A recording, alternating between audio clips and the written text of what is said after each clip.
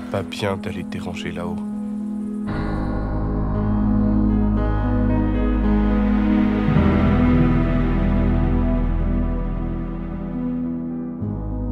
Ces 15 000 dernières années, c'est 15 000 ans de catastrophes, d'histoire de catastrophes naturelles. Je fais creuser une galerie ici, au-dessus du niveau du lac. Vider tout ça, c'est impossible. Vous savez quoi, me regarder comme ça? Vous voulez pas m'aider, non? Ça sert à quoi? Ça sert à rien. Le creusement d'un tunnel dans la glace est une première. Personne avant Fenetz ne l'a jamais fait. Simon me fait peur. C'est Venetz l'ingénieur. C'est lui qui connaît.